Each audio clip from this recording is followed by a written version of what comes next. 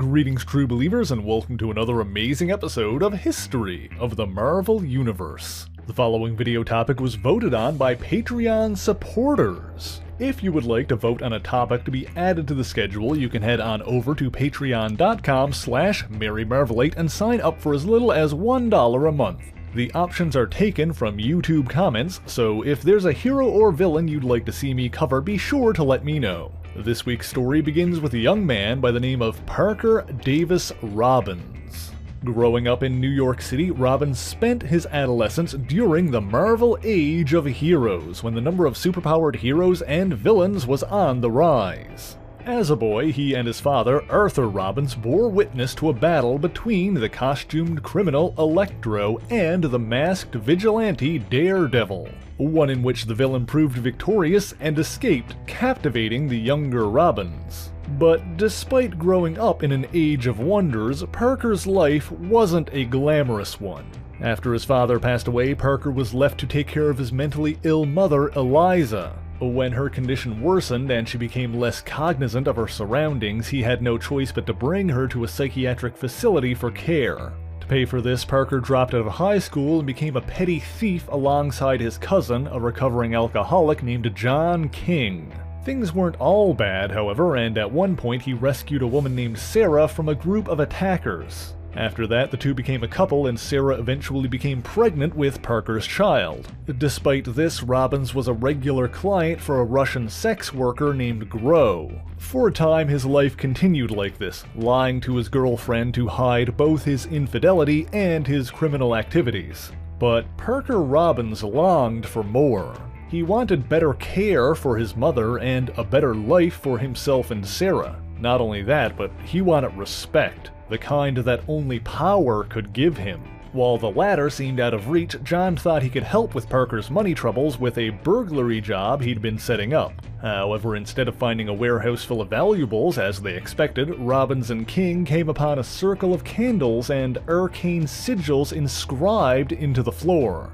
But that's not all that was there, and the two were soon attacked by a cloaked demonic creature known as the Nisanti. Acting quickly, Parker Robbins pulled out his gun and opened fire on the monster, hitting it in the head. And shockingly, this seemed to have worked as the beast slumped over dead. Not wishing to leave empty handed, Parker took the creature's cloak and boots before running away. However, he soon found that wearing the boots allowed him to literally run on air, Experimenting further, he discovered that while wearing the red cloak, he could turn invisible for as long as he held his breath. With Parker's new powers, John had another idea for a job they could pull. He'd learned of a shipment of illegal African blood diamonds coming in from Sierra Leone, completely untraceable and worth millions. However, unbeknownst to Robbins or King, this shipment belonged to a former Kingpin underboss named Dennis the Golem Golembuski, who employed superpowered muscle of his own. When Parker attempted to steal one of the two diamond pouches, his presence was detected by Golembuski's right-hand woman, Madame Rapier. Furthermore, three additional villains were hired to protect the shipment Jack O' Lantern, Shocker, and Constrictor. The scene erupted into a battle, drawing the attention of a pair of nearby police officers. By the time they arrived, the hired villains had escaped with one half of the diamonds, while Robbins had held on to the other. However, upon seeing the cops, Parker reacted hastily, firing a single bullet hitting Officer Eric Bondi in the neck. Knowing the severity of the situation, John snuck up behind the other officer, Brooke Douglas, and knocked her out with the butt of his gun. As more officers arrived, John told Parker to escape while he was arrested. Bondi was rushed to a hospital but fell into a coma and was placed into critical condition. Based on a description from Officer Douglas, the unidentified shooter instantly became a wanted fugitive known as the Hood. Nervous and panicking, Parker went to Gro's apartment to lay low. Meanwhile, since the case involved a superpowered assailant, agents from the FBI became involved. Based on the fact that Officer Douglas was struck from behind, the federal agents deduced that John King was the Hood's accomplice, and threatened to pin the shooting on him if he didn't reveal his identity. Parker attempted to free John, but FBI agents were ready with technology confiscated from the terrorist group of super scientists Advanced Idea Mechanics. but then Parker incapacitated his attackers with lightning bolts from his hands. However, he had no idea how he was able to do such a thing or how to do it again. Using his invisibility, Parker was then able to make it inside and reach John's holding cell. However, John insisted that the only way for either of them to make it through this was for Parker to sell the blood diamonds and use the money to get him an expensive lawyer. But when Parker went to pawn the diamonds, he ran into the Shocker, who was passing out warnings on behalf of the Golem to be on the lookout for just such a thing. The situation had become dire. The reward for the Hood's capture was growing, and Sarah was becoming more suspicious of Parker's nightlife. And so Robbins concocted a plan, and that night the Hood paid a visit to Dennis Golembuski directly. He made a simple offer. He would return the diamonds in exchange for a percentage of their value. Golembuski agreed, but he was secretly far more interested in killing the Hood than getting the stones back. However, Robbins anticipated betrayal and called in an anonymous tip to the FBI letting them know where the Hood would be that night. As Parker expected, during the exchange, Madame Rapier attacked him. But Robbins defeated her and forced her at gunpoint to don a red cloak of her own. When the feds arrived, they wasted no time and opened fire on who they believed to be the Hood, killing her. The other villains watched, but before they interfered, Parker gave them the diamonds, hoping it would be enough for them to leave him alone.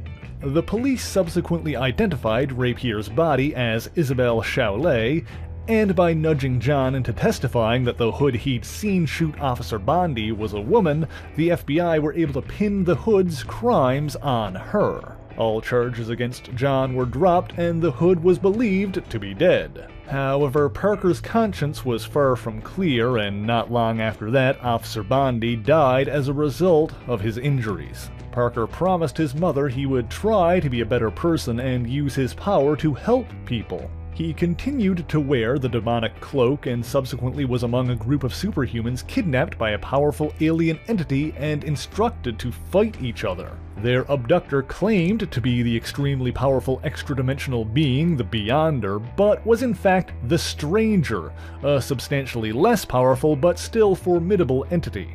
During this time, Parker confided in another abductee, Greg Willis, aka Gravity. Parker told Gravity about Sarah and his soon to be born baby. He admitted that he was trying to be a better person, but he would do whatever it takes to get back to his family. And at the end of the day, Gravity sacrificed his own life to ensure the rest of the group could make it home safely. Subsequently, Parker and Sarah attended Gravity's funeral, although he continued to keep his life as the Hood a secret. And it was shortly after that that Parker's daughter Brianna was born, and at some point he and Sarah married. Any further attempts at nobility were quickly abandoned, however, as the cloak's demonic influence blackened his heart and fed his greed. Sometimes he would even transform completely, resembling the Nisanti when he did. He also grew more adept at using his powers, no longer needing the Nisanti's boots to fly, and being able to turn invisible without holding his breath. After the superhero civil war split the superhero community, leaving half of them branded as outlaws, the Hood attempted to take advantage of the new status quo, building his own criminal empire with an army of supervillains. He first turned heads by providing a large number of masked criminals with $25,000 each in seed money, which he presumably stole thanks to his increased abilities. He further earned their respect by attacking the hero Tigra and threatening to harm her mother if she crossed his gang. And if this seems like a meteoric rise for a petty thief who was once unable to pawn a bag of untraceable diamonds, indeed it was. However, it wasn't done by Robbins alone. While wearing the cloak, he heard a voice which guided him in the building of his criminal empire. Soon after building it, his hideout was attacked by a team of Avengers. During the ensuing battle, Parker ensured that John King, who was still by his side, fled the scene. Most of the criminals were apprehended, but the Hood escaped and soon freed them from custody, further earning their loyalty. The Hood then learned the location of the new Avengers headquarters from Tigra and led his supervillain army to attack it. However, Tigra herself joined the battle and struck back against her attacker. Furthermore, Doctor Strange was able to channel the energy of an interdimensional being, Zom, and defeat the villains. However, Robbins slipped away again and confided in the demonic voice that only he could hear. He again freed his subordinates from prison and rebuilt his supervillain army. But it wasn't long after this that the alien race known as the Skrulls launched a full-scale invasion of Earth. With the planet on the line, the Hood and his villains joined in the fight against the Skrulls. However, it was this experience that finally pushed Parker to the edge, unable to deal with the impossible madness constantly occurring around him. He demanded that the demonic voice reveal itself, and so it did. The evil presence responsible for the Nisanti and the Hooded Cloak. The Eater of Souls, the Lord of Chaos, the ruler of the Dark Dimension, and the arch nemesis of Doctor Strange, the dread Dormammu. You see, sometime prior, Doctor Strange had banished Dormammu from the Earth, preventing him from existing in their plane of existence without a human host. The so-called demon that Parker killed died so easily because it wasn't truly alive. It was an empty vessel enchanted by a cult who wished to make use of Dormammu's power. They attempted to accomplish this by placing the mystical bonding cloak on a dead subhuman creature and using it as a vessel for the Dread One. However, Dormammu was not one to be manipulated. He used the vessel to slaughter the cultists and sought a more suitable host. And a suitable host he found in Parker Robbins. The more Parker wore the bonding cloak, the more Dormammu was able to assert control and channel his essence. Meanwhile, because of his role in the final battle of the Skrull invasion, Norman Osborn was considered a hero and put in charge of national security. Behind the scenes, Osborn gathered together a dark cabal of conspirators to help run the world, one of which was the Hood. Osborn trusted Robbins with his more criminal endeavors, such as murdering Frank Castle, the brutal vigilante known as the Punisher. To this end, the Hood used Dormammu's magic to bolster his forces by resurrecting 18 dead supervillains who were killed years prior by the Scourge of the Underworld. When it became clear that brute force wouldn't stop the Punisher, Robbins instead offered to revive his dead wife and children using the same magic. However, Frank didn't believe such a thing could be real and forced the villain Firebrand to torch the scene as his family arose. But with his demonic strength, the Hood was then able to overpower the Punisher and nearly killed him. However, Frank revealed that he knew about Sarah and Brianna, and that if he died, information about Parker's family would be sent to his rival crime lord Wilson Fisk.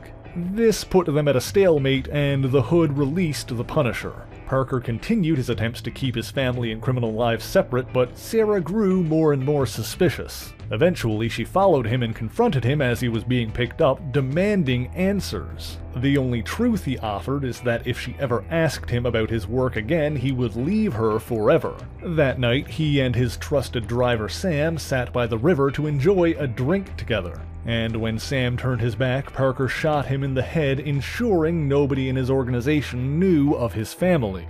And yet he continued his infidelity, this time with the notorious villain, Madame Mask. Underneath the hood, he was still Parker Robbins. At least that's what he told himself, and he would be reminded of his past when he was attacked by a woman calling herself White Fang. She was in fact Elizabeth Bondi, the widow of Eric Bondi, the police officer that Robbins had killed early in his career. White Fang nearly defeated the Hood, but Robbins was able to survive by channeling Dormammu's power. Dormammu wanted to kill the woman, but Parker was able to reassert control of himself and escape. He confided in John, telling him what had happened. In turn, John told Parker that he'd noticed how he'd been relying on his demonic power more and more.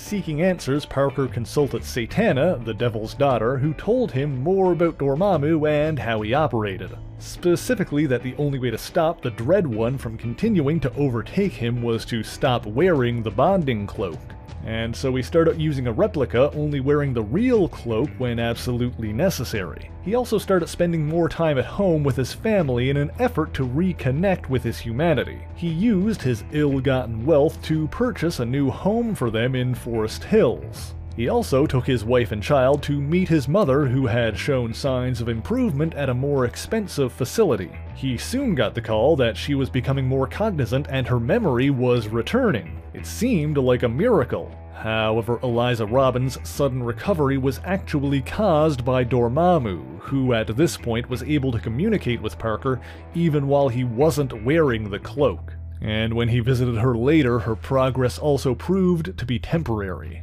Complicating matters further, despite his efforts to keep them safe, one of his associates, a villain called the Controller, had learned of Parker's family. Seeing his own opportunity for power and influence, the controller revealed this information to White Fang. In their next encounter, the Hood was horrified to find that the vengeful woman knew about his wife and child. In a panic, he escaped that battle to ensure they were unharmed. While everything seemed fine, not long after this, for a moment, Dormammu possessed Brianna. In a panic, Parker demanded he free her, terrifying Sarah who told him to leave. Parker blamed John for his secret getting out, since he was the only one who knew about his family. Meanwhile, White Fang joined forces with a masked operative named Force, who was also after the Hood. Force sent the Hood a message, challenging him to a one on one fight in front of all of his men, seeking to defeat and discredit him. Since White Fang knew his secret, Parker had no choice but to accept. He wanted to wait until the last possible moment to wear his cloak.